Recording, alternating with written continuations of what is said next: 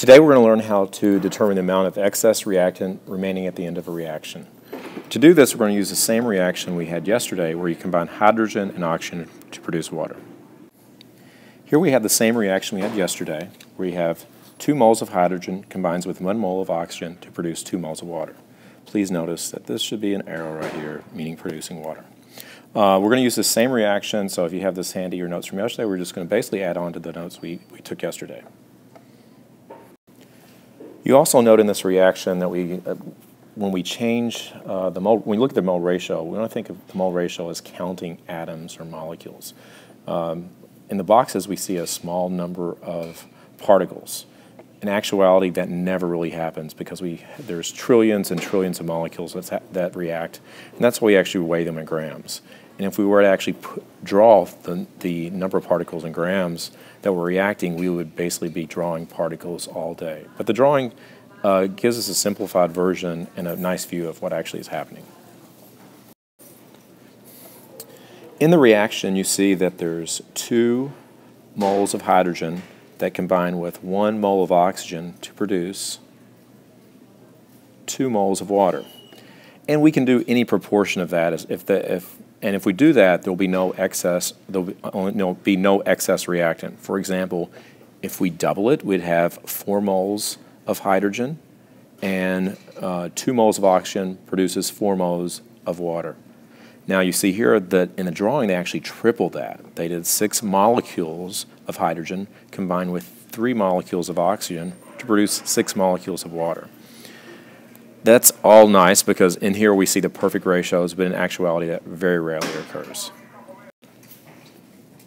So we see here this, the 2 to 1 to 2 ratio is awesome, but unfortunately that very rarely occurs. So what we're going to, so since that rarely occurs, it's very important that chemists and chemistry students understand the difference between excess and limiting reactants.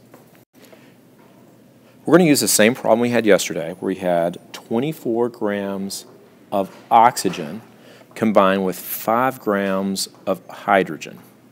Now notice the 24 is a much bigger number than the oxygen, but we know hydrogen weighs much less. Oxygen only has a mass, has a mass of 32 grams per mole. Hydrogen is only 2 grams per mole. And once again, remember this arrow should be there where the box is.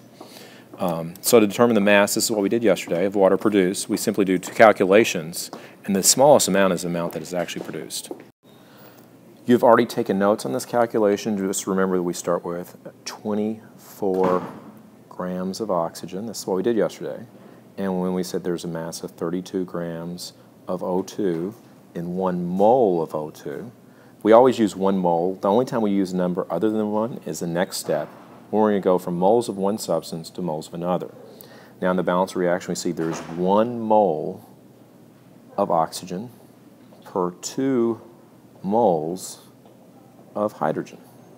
So this step right here is the only time you'll use a mole ratio other than one to one, or other uh, a mole number other than one to one.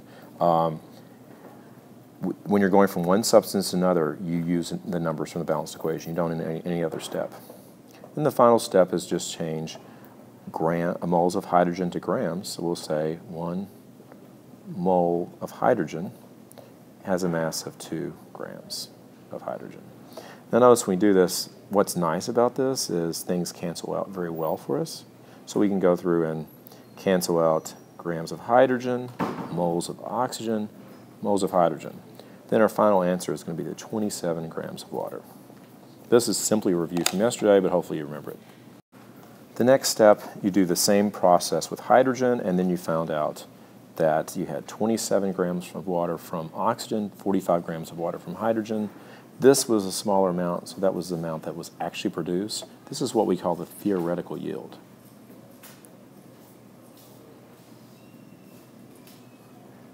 Uh, theoretical yield we calculate using math.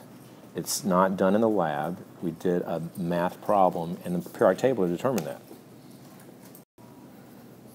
Once again, still review from yesterday. So this tells us that O2 is a limiting reactant, and it determines the amount of product that's produced, and it also determines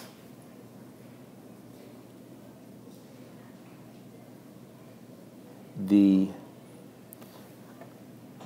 apologize for the handwriting, a mount.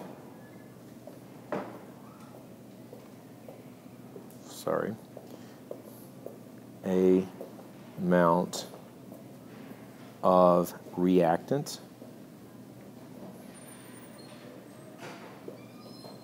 used. And that's what we're going to learn today is how to use this limiting, which is the oxygen, to determine how much of the hydrogen was used. We see hydrogen here is excess, so we want to figure out how much of that was used. So the question here we're trying to answer is how much hydrogen gas would be left over at the end of the reaction. So to do that, uh, you first determine how much hydrogen reacts with all the oxygen doing a gram to gram problem. You start with the 24 grams of oxygen, the limiting reactant, and you convert it to grams of hydrogen, the excess reactant. This will tell us how much hydrogen was actually used in the reaction. So to do this, we start with the limiting reactant, which is the 24 grams of oxygen. I'll, I'll write this here. So we say 24 grams of O2. And we want to convert that to, we've already got the balanced equation, so the next step is change grams of given to moles. We'll do that. We'll say uh, there's 32 grams of O2 and one mole of O2. And now we have moles of O2. We want to change this to moles of hydrogen, the other reactant. So we say from the balanced equation, there's one mole of O2 per 2 moles of H2. And now we want to change moles of hydrogen to grams. One more step. We say there's one mole of H2, and that has a mass of 2.0 grams of H2. What's nice about doing this is everything cancels out, so we can just go back and we can say, look at what we did, and we say grams of hydrogen cancel, uh, grams of oxygen cancel, moles of oxygen cancel. And uh, I'd like to point out here again, important point. Remember, we've got a two to one ratio here. The only time you use a ratio from the balanced equation is when you're going from moles of one substance, oxygen, to moles of another substance, hydrogen. And so now we have moles of hydrogen and change that to grams. And we do all this and we end up with 3.0 grams of hydrogen. This is the amount of hydrogen that was reacted. Reacted means it was used. So this is not our final answer. That just tells us how much we use. So we have one more step.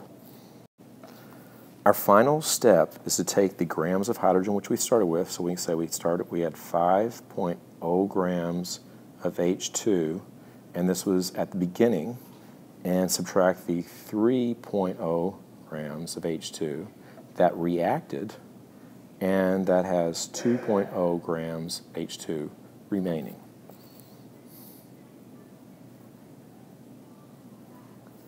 So let's just review that again. We've got the 5 grams, and this is at the beginning.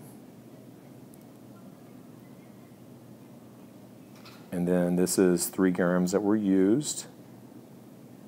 And then we have 2 grams that are left over. And this is how, using a gram-to-gram problem, you figure out the amount of excess reactant that remained at the end of any reaction. Good luck.